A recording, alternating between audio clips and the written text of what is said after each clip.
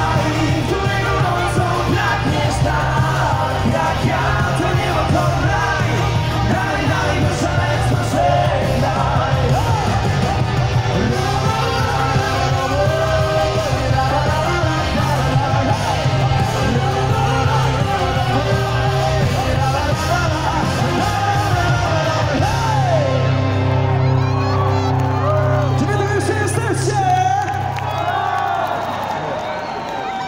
na dzwonkach przed Państwem Czapaj. Zróbcie dla niego przeogromne oklaski!